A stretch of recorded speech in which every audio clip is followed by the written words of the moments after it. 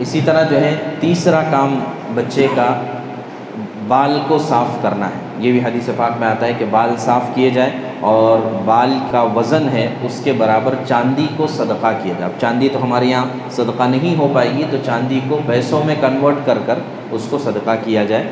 तो 400-500 रुपए कुछ बनते हैं या उसके भी कम शायद बनते होंगे, इसलिए कि बच्चे के बाल ही कितने होते हैं। तो इतना जो है बच्चे की तरफ़ से सदका कर दें एक और अमल बच्चे से मुतक़ होता है, वो है ख़तना करना। तो ख़तना करना जो है, ये भी सुन्नत अमल है, लेकिन ये उन सुन्नतों में से है जिनका दर्जा शार और ट्रेडमार्क का है। इसलिए कि मुसलमान का ख़तना होना, ये गोया के मुसलमान होने की अलामत समझी जाती है। इसी वजह से अगर बचपन में ख़तना ना हो सके, या ये कि आदमी मुसलमान हो जाए बड़ा होने के बाद तो उसके बाद भी उसको ख़तना कराना चाहिए। तो जैसे मैंने अर्ज़ किया कि ये अमल तो सुन्नत है, लेकिन इसका मकाम ट्रेडमार्क का है। जैसे अज़ान वाला अमल सुन्नत है, लेकिन जो है अज़ान ये ट्रेडमार्क है। किसी दिन अज़ान ना हो तो कोहराम मच जाएगा।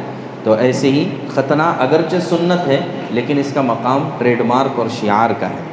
चुनानचे हदीस पाक में आता है कि दोनों के लिए ख़तना करना सुन्नत है, लड़कों के लिए भी और लड़कियों के लिए उस ज़माने में अरब में रिवाज था, लड़कियों का भी ख़तना होता था।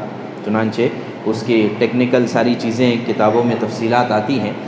तो बहरहाल, हमारे यहाँ पर रिवाज सिर्फ़ लड़कों के ख़तना करने का है तो उसी को अमल किया जाए।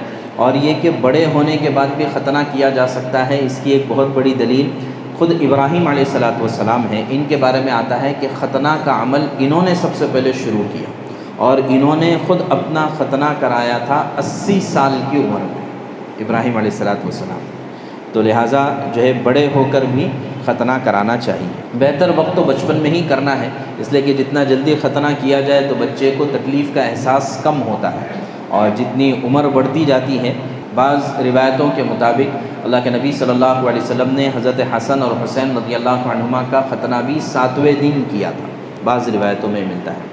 तो सातवें दिन की कोई ज़रूरत नहीं है अहतमाम की ज़रूरत नहीं है अलबत् किसी भी वक्त ख़तना किया जा सकता है।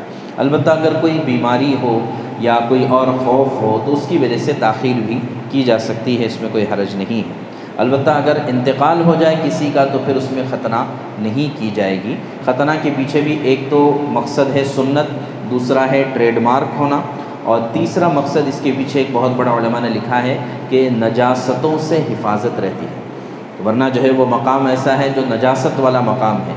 तो अगर वो जो है जिल्द वहाँ पर बाकी रहती है तो नजासतों के जमने का वहाँ पर बहुत ज़्यादा इम्कान है और मुसलमान तो पाक साफ़ रहता है। कभी भी नजासतों के साथ न मस्जिद में आता है, न घर में भी नजासत के साथ मुसलमान नहीं रहता है। अच्छा कभी ऐसा भी होता है कि बच्चा ख़तना किया हुआ पैदा होता है, मखतूम पैदा होता है। जिस अल्लाह के नबी सल्लल्लाहु अलैहि वसल्लम के बारे में ये मिलता है कि आप मखतूम पैदा हुए थे, आपको ख़तना करने की ज़रूरत नहीं पड़ी तो ऐसा भी हो सकता है। तो ये ख़तना से मुतक़ और अक़ीक़े से मुतक़ चंद चीज़ें।